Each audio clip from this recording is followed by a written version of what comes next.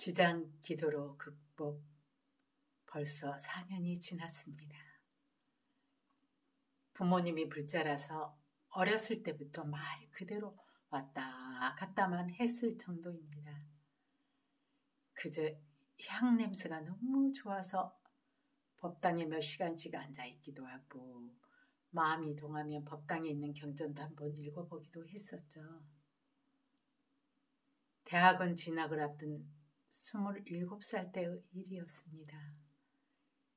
10여 년 전부터 잠자리가 너무 불편하고 무섭고 뭔가가 계속 괴롭히고 하는 일이 점점 그 시기가 짧아지더니 맨정신에도 귀신이 보이고 어느 날은 TV에서나 보았던 저승사자 세 명이 삼각구도로 서서 나를 빤히 쳐다보고 있더군요. 그중 대장으로 보이는 저승사자는 덩치가 무척 크고 세 명 모두 다리는 없었습니다. 너무나도 또렷이 눈앞에 나타나기를 여러 번이었습니다. 만나는 사람들마다 눈빛이 검다며 저승사자 같다는 말도 자주 들었고 이유 없이 아프고 힘이 없고 모든 의욕이 떨어지고 밤마다 무엇인가 시달리고 막 고함 지르기를 몇 달간 계속되었습니다. 단지 몸이 약해서 그럴 거라고는 생각으로 지내다가 어느 날 제가 신내림을 받아야 한다는 말도 안 되는 말을 듣게 되었습니다.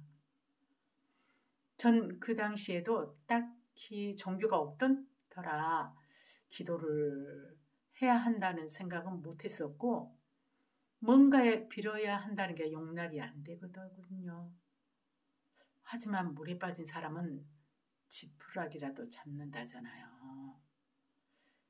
지장 보살님이 누군지 기도를 어떻게 해야 하는지, 얼마나 해야 하는지, 정말 대책이 없는 상황이었습니다. 그때만 해도 석가모니 부처님 알았지. 무슨 보살님의 이름이 이렇게 다양한지 그 중에 나를 택한 것이 지장 보살님이었습니다. 지장 기도는 정말 힘든 기도다.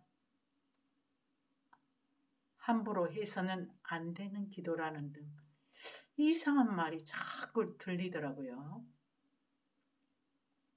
전 마음속으로 그런 게 어딨어. 정성껏 진심으로 하면 되는 거지. 설마 죽기밖에 더 하겠어? 그저 했습니다. 오로지 지장보살만 생각하면서 연부를 했습니다. 지장보살, 지장보살, 지장보살. 하루에 만 번씩 그렇게 간절히 부르기를 100일쯤 했습니다. 밤 8시부터 시작하기로 한 시간을 반드시 지키기에 뛰어서 집에 오다가 넘어져서 무릎이 깨지기도 하고 씻지도 못하고 땀을 뻘뻘 흘린 채로 집으로 들어오자마자 가방을 던져두고 바로 지장보살님 사진 앞에 앉아서 또 연불 하고 지장보살님 저 좀 살려주세요. 정말 신내림 받기 싫어요. 만약 제가 신내림을 받아야만 한다면 절 그냥 데려가 주세요. 차라리 죽음을 택하겠어요. 정말 이 말을 수없이 되풀이하면서 죽을 각오로 지장보살님만 부르고 부르고 간절하면 이루어진다잖아요. 그렇게 울고 있으니까 정말 지장보살님께서 와 주시더군요. 백일 해양하던 해양 의식을 마치고 너무 곧에서 동생 침대에 대자로 발라덩 눕는 그 순간 온몸이 전기에 감전된 듯 한참 동안 전율이 나면서 몸이 공중으로 뜨더라고요. 정말 본 사람이 있어서 이것이 거짓이 아니란 걸 아실 거예요. 말도 안 나오고 무섭더라고요.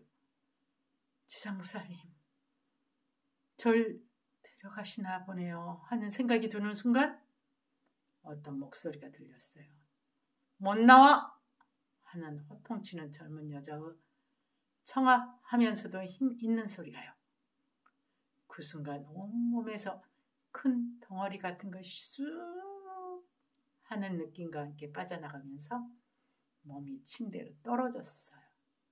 정말 말로는 표현할 수 없는 상황이었어요.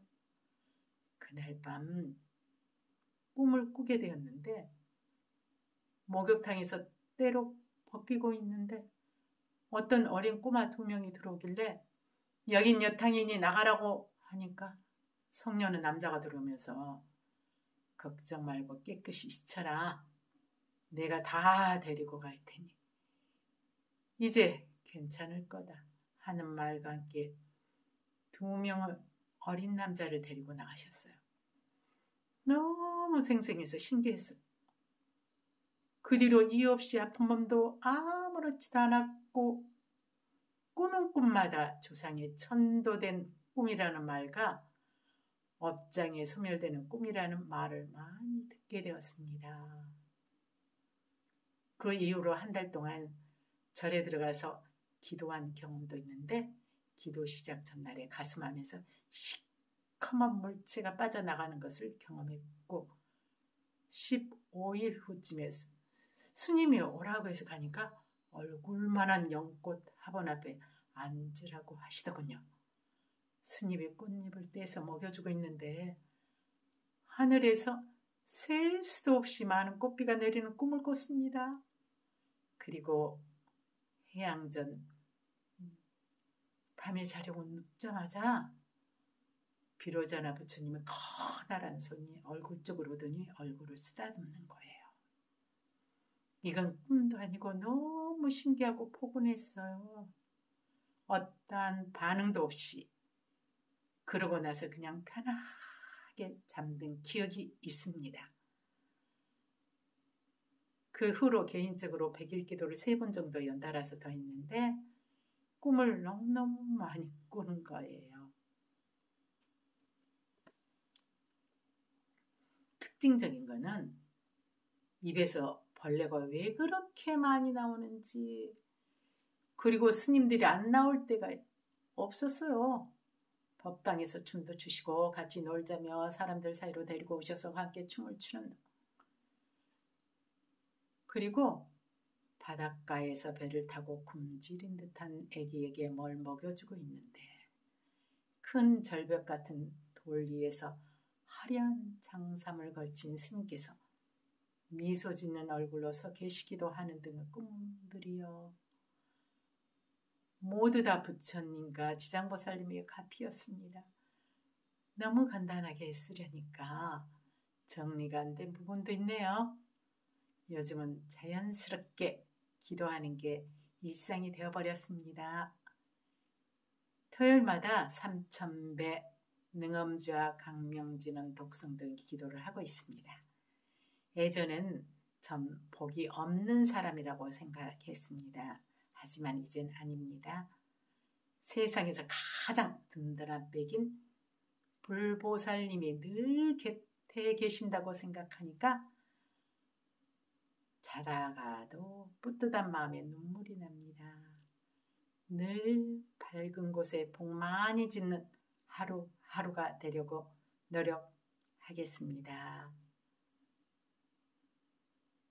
다음 나무 아미타불 카페의 글 파랑새 78이었습니다.